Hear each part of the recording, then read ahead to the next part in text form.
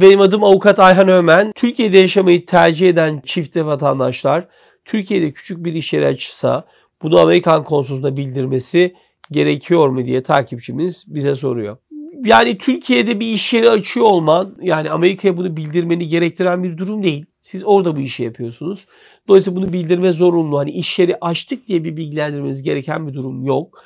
Ama şu var tabii çifte vatandaşlı olsanız aynı anda Amerikan vatandaşısınız ve dolayısıyla oradaki elde ettiğiniz gelirleri e, yani ülke dışından elde edeceğiniz gelirleri ya da gelir e, durumlarını Amerika'ya bildirmeniz gene gerekiyor. Dolayısıyla yıllık yapacağınız vergi beyanınızda oradan bir gelir elde ettiyseniz bildirmeniz gerekecek. Ve o zaman da tabii ki Türkiye'deki bir işletmenizin olduğu ya da firmanızın olduğunu görmüş olacaklar diyeyim. Dolayısıyla Amerikan konsolosluğuna bildirmeniz şart değil ama siz vergi dairesine bildirmiş olacaksınız. Bir yıl sonra yani daha sonraki yıl yapacağınız vergi beyanında bunu beyan ederek bildirmiş olacaksınız deyip takipçimizin sorusunu cevaplamış olalım.